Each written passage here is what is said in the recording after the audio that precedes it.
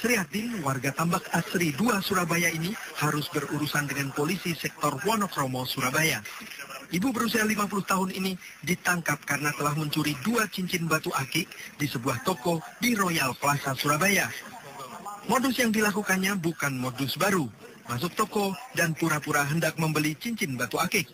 Saat penjaga toko lengah, dia mengambil dua cincin akik dan memasukkannya ke dalam tas.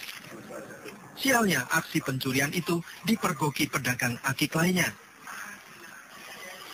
Pelaku nekat mengambil cincin batu akik itu untuk dijual kembali di pasar Wonokromo. Dijual lagi. Biasanya jual berapa, kok? Nggak tahu. Nggak tahu. Rencananya dijual ke mana? Buat makan. Buat makan. Memang ibu sehari-hari kerjanya apa? Ya. Nggak kerja. Suaminya?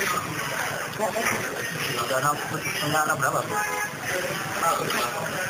Anaknya memang nggak ngasih uang atau gitu?